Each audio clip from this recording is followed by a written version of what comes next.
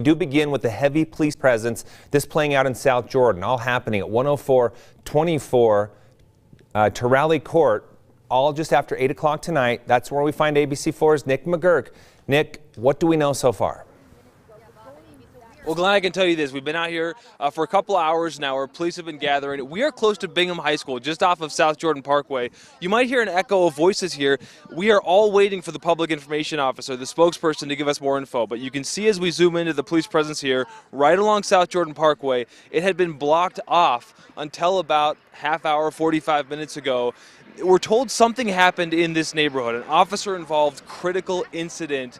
We're told there's a protocol team in place. There was a suspect. Some of the suspect's family was in that neighborhood. Nobody in danger, we're told, at this hour. But again, South Jordan Parkway had been blocked off, and we have been told now for about an hour there is a spokesperson for some police agency that is set to arrive. Obviously, with a, a officer involved critical incident, if it were a South Jordan incident, it wouldn't be a South Jordan team investigating. But that's about all that we know right now. Certainly taken very seriously based on all of the, the crime tape and the officers that we saw earlier today.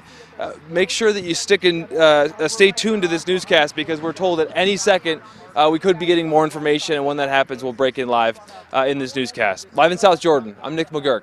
ABC4 News.